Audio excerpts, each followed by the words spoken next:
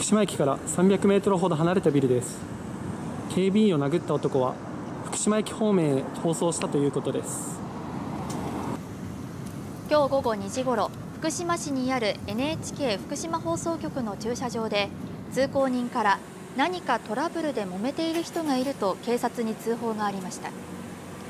警察官が駆けつけたところ男に頭部を殴られたビルの警備員の男性がいたということです。